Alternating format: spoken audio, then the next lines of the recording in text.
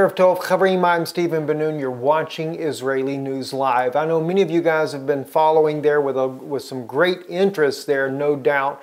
Uh, the downing of the Su-24 Russian bomber over uh, Syria there. Uh, of course, Turkey is claiming that the plane had violated its airspace. Uh, they claim that they had warned uh, the pilot up to as many as 10 times over five minutes. That's being reported on Israel National News. Uh, however, the surviving navigator claims that there was no warnings whatsoever given, neither visual nor over radio, and yet uh, it is claimed uh, and, and, and, it has been supposedly produced an audio of the, uh, the Turkish pilot of the F-16 giving warnings in English uh, that they were nearing um, Turkish airspace, and then, according to their rules of engagement, after the warnings were not heeded, they shot the Russian bomber down. Uh, the United States is standing their ground with NATO, with their ally Turkey, and of course, this is making the situation all the more tense. Vladimir Putin has, as many of you guys already know, has said that this is a stab in the back uh, to Russia, especially when they're there fighting ISIS. He also says that uh, Turkey is certainly a, co a collaborator uh, with these uh, groups of ISIS there, and even now is looking at what is considered the moderate forces against the Syrian uh, uh, Bashar al Assad, the president of Syria the moderate forces that are backed by the United States uh, now considered to be targets because they were the ones that actually murdered the Russian pilot uh, as he came down in the air. You can see video footage and different videos that have been aired on uh, is on, on uh, YouTube, etc., of this shots being fired at the at the two, the pilot and the navigator, as they uh, come down out of the skies. Uh, but clearly it is a majorly tense situation there. Russia has also brought in uh, some of its own uh, S-400 missiles uh, into the uh, Syria uh, in response. They've also uh, deployed another ship into the region there for a missile cruiser there to deal with any more threats to its own forces there doing the attacks there in Syria it is very clear that Russia is not there to play games whatsoever. They're, they're very serious about what's going on and very clear that they've made it uh, quite clear that they do believe that this was an intentional provocation. I know there's many people also that believe that the United States, President Barack Obama, has been looking for a re reason to engage in some type of major conflict to divert the failing economy in the United States. And also, we've also seen uh, some reports from Steve Quayle that states that bankers have been given uh, emergency access uh, uh security measures there to be able to enter into their banks, to be able to take control of these banks during a time of emergency, how to get in, uh, how to be contacted at the last moment notice to go into their banks for an emergency meeting.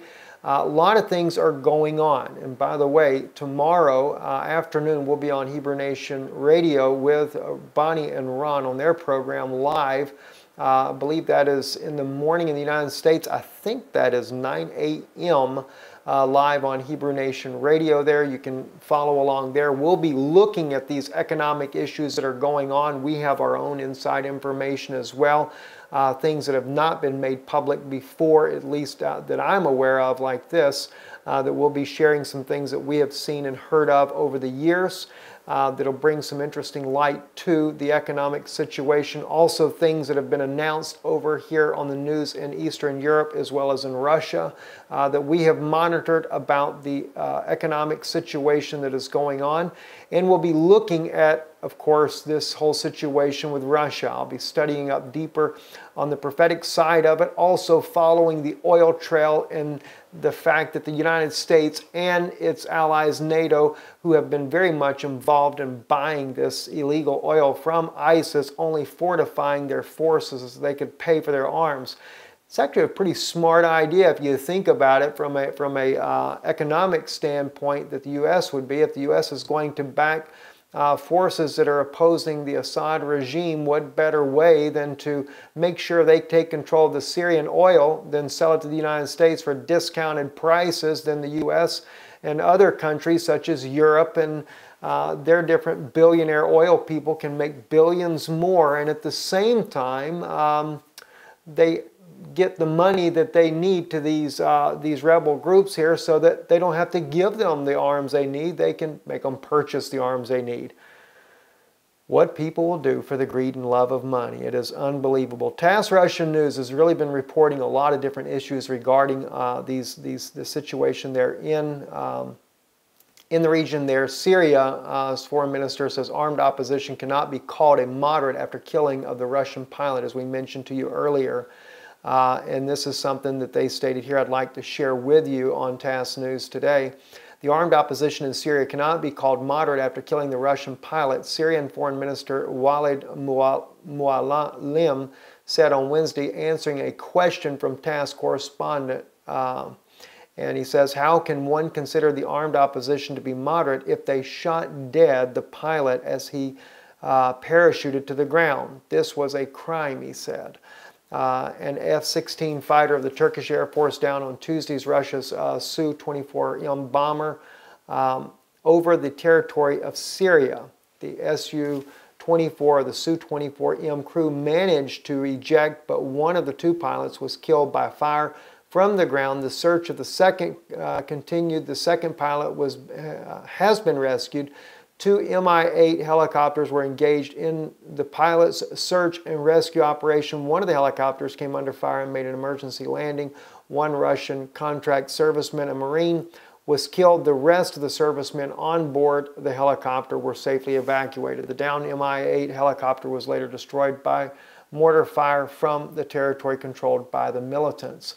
Again, these are the, um, this is not the ISIS forces, this is actually the U.S.-backed uh, people there. And of course, Turkey supports them. They, uh, the U.S. supports them. You just cannot help but wonder who's authorizing this engagement against Russia. Is Russia being pushed to get in, involved in a major war? Now, on top of it, today, 18 Turkish fighter jets patrolled the border with Syria. That was according to Turkey's general staff. Uh, you can see their, their planes lined up on the screen here. Uh, but anyway, it says here that um, the Turkish General Staff has conducted one of the largest airspace control missions near the border with Syria, simultaneously engaging uh, the F-18 uh, of the F-16 fighter jets and the General Staff in a statement released on Wednesday. And by the way, speaking of these F-16s here, uh, really pay close attention we are going to be doing a marathon of news broadcast over the Thanksgiving holiday here on Saturday. Uh, we'll be having Brother Gary Lowry from California on our broadcast as well. Um, I, I, I, contacted him because of the vision that he's seen back in 2013 uh, of an F 16 that would end up going down in the mountains of Syria that would actually catapult the war, the war that is going to happen in the Middle East. He said this will be what the Lord had showed him. Uh, I have remembered it. Uh, in fact, his particular dream was brought to the Israeli government authority. We had kind of helped bring that uh, to their attention. They took a great interest in his dream. And it was uh, concluded then by the Israeli government that that F-16 would actually belong to the Turkish government. They did not believe it would be a Syrian F-16 that would cause the war, but they do believe that it would be an F-16 from Turkey. So we think it's very interesting and I'd like for Brother Gary to share with you guys here about that dream. Uh, I'm not big on dreams and visions, I will say that. It's not that I don't believe that God doesn't use them, but I see so many people that purport their dreams and visions and they don't come to pass.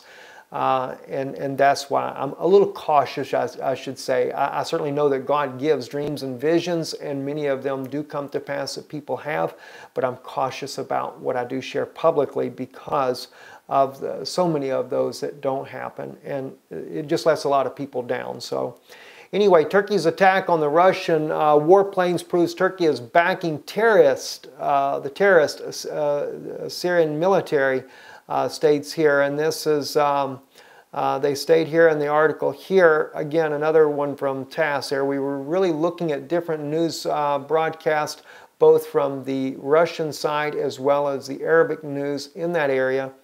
Uh, we do because in our family we speak uh, a combine of seven languages in our family here. So we're able to monitor in many different uh, languages here, including the Russian language. My wife is fluent in Russian. My father-in-law also speaks Russian. Um, because of being under the communistic regime uh, during their time. My father-in-law also is an expert in Russian uh, military jets. Uh, so we have some interesting uh, backing on our side to understand things that are going on here uh, so that we get a better idea so that we can share that information with you guys as well. Um, also, too, let me just bring another thing to your attention. Uh, some of you may be following what's going on in Crimea and Ukraine as well. There again, it's another issue why I think that war is pretty much on the horizon very soon. Uh, because we see that uh, the Ukrainians have been provoking the Russians as well, cutting the power supply to Crimea. Now, I do believe that this is all orchestrated. It's kind of funny that the Crimean crisis happens just before the downing of the bomber, uh, of the Russian bomber. And I want you guys to kind of think about this a little bit. Um, how would that play into the hands? How can we see that this is actually an orchestrated plan on NATO's part against Russia? NATO has a big problem with Russia being in Syria. I can tell you right now because there's a huge oil, natural gas reserves all over this area, including off of the coast of Egypt, Syria, Israel, etc. And they didn't want Russia stepping in.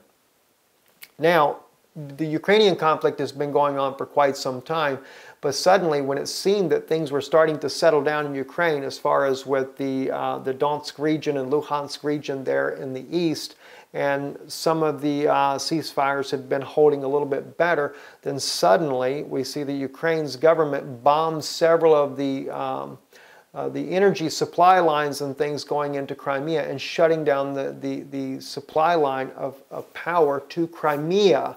Uh, and then it was right after this, just a day or so after, then we see the downing of the Russian uh, Su-24 uh, bomber also in this area. Now, I think that they're linked together. And the reason I say that is because why? Russia has its naval fleet. One of its naval fleets is stationed in Crimea. So the thing is, is to cause a problem in Crimea because it's also a launching pad for Russia to get its naval uh, ships in order there in the Mediterranean Sea. That's another interesting thing too I'd like to speak with Brother Gary about in, in, in, another dream and vision that he had seen because the very cruise missile ship that is in the uh, Mediterranean now that was sent there was one that he called by name uh, in his own vision. Now, uh, let me just clarify a little bit with you guys. One of the reasons why I'm very interested in Brother Gary coming on with us here, uh, and I and I don't, I cannot endorse everything that Brother Gary's ever done or, or, or said as far as dreams and visions. I do love him; he's a very dear brother, but I've not looked at everything that he's had said and done. So, you know, I know Brother Gary's spoken about many things, so I, I cannot say about other things there. But I do know for a fact that in this dream regarding the F-16 and this one about the, um, the particular, uh, the name of the ship there that Russia would send into the Mediterranean, Brother Gary mentioned a name of an individual in this dream that he had no way of knowing who the person was that was in the Israeli government.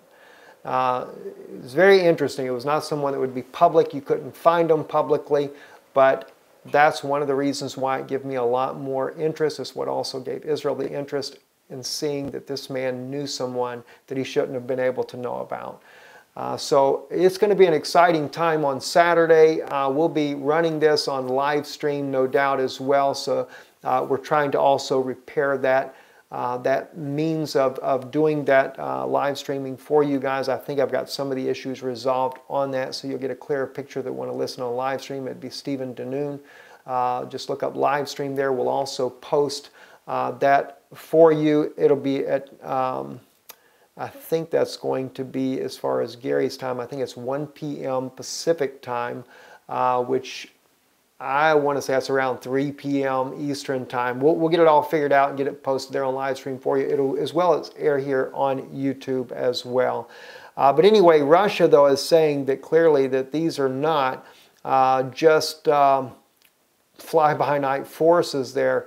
Uh, the general command of the, of the Syrian army stresses that the desperate acts of the aggression will only increase our determination to continue the war against the terrorist uh, organizations with the support and help of Syrians' friends, mainly Russia. Uh, SANA said a Russian Su-24 frontline bomber was downed by an Air Force missile launched from the Turkish F-16 fighter jet when it was returning from an anti-terrorist mission in the uh, Hmeimim air base in Syria. The warplane was at an altitude of 6,000 meters at a distance one kilometer from the Turkish border. The defense ministry said earlier that pilots had managed to eject from the aircraft uh, their whereabouts were being uh, established on the mission of the bomb Islamic State targets. It was a stab in the back, Putin said. The Russian president warned that the attack on Russian warplane would have serious consequences for the Russian-Turkish relationship.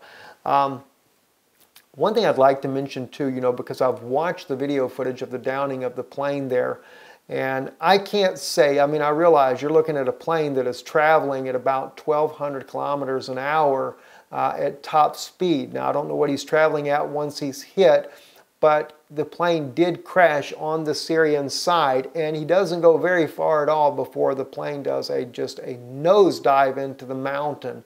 Uh, so, for, for, for the Turkish to say that he's in Turkish airspace, and yet the plane crashes about six kilometers on the inside of the border of, uh, of Syria that really kind of makes you wonder just who's telling the truth in this. Uh, and, and, and I can't say that Russia is telling the truth or the United States or Turkey for that matter. I know that a lot of things have been fabricated in the past, just like the downing of the Germanwings airline. That was a clear fabrication. They wanted to blame this on this pilot.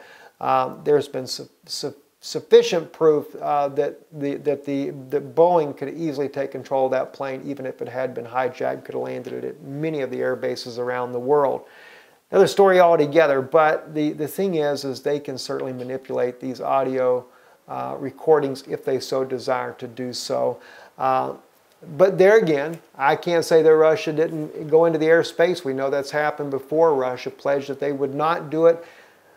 But you still got to remember, if Russia has been trying to work with NATO and dealing with ISIS, why do they consider Russia a threat at this point anyway? Uh, it's a lot, of, a lot of very interesting things are going on, and I, I personally believe that the U.S. is pushing for a war. Uh, they may not want to fight that war directly, but the U.S. wants a war. Uh, we're going to go into all this tomorrow uh, Hebrew Nation. Also, we'll be back here on YouTube again as well. And uh, be a lot of interesting things, uh, needless to say, that we'll be sharing with you guys. Can't say exactly what the news will be on tomorrow evening, but I've been doing a lot of research on this fuel, the biblical aspect of it, Hosea's prophecy, uh, as well as many other prophecies there that are dealing with the things that are happening in Syria. I'm Stephen Ben-Nun. You've been watching Israeli News Live, YouTube segment here. God bless you. Shalom and good evening.